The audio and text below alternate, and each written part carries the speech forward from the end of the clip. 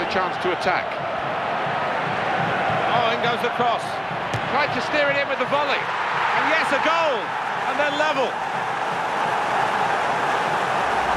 That's beautifully done for the goal.